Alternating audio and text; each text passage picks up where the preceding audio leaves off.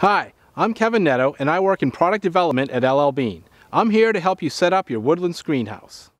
Select a clear site and unpack your screenhouse. Inside the storage sack, you'll find the screenhouse body and two smaller bags containing poles, stakes, and guy lines. You'll also find waterproof instructions sewn right inside the storage sack so they're always there when you need them. Unroll the screenhouse and spread out the body with the tan roof facing up. Assemble all of the poles. Slide one of the long straight ridge poles through one of the mesh pole sleeves on the roof of the screenhouse. Repeat this step with the second ridge pole.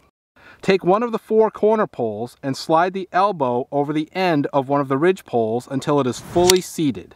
Next, take the opposite end of the corner pole and insert its tip into the grommet of the screenhouse's corner stakeout loop. Repeat these steps with the opposite end of the ridge pole and the second set of corner poles. The screenhouse should now be standing. Attach the clips on the corners of the screenhouse body to the corner poles. Stake the house using the four corner stakeout loops and the side stakeout beckets. Unfold the floor and locate the corner swivel clips, then place the floor inside the screenhouse and line up the clips to the O-rings located at the corners of the screenhouse. Attach the clips to the O-rings.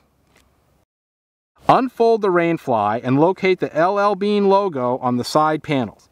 Rotate the fly so the logo corresponds with the side panels of the screenhouse. Drape the fly over the front of the house and pull it over. Once the fly is positioned correctly, reach under the fly at the corners and fasten the loops to the corner poles. Then attach the fly's corner swivel clips to the D-rings on the screenhouse's web stakeout loops. Adjust the tension as necessary. If you're setting up camp in extremely windy conditions, we recommend you guy out your screenhouse. You'll find guy lines with pre-attached tensioners in the stake bag. Tie the end of the guy line without the slider to the loop of the fly.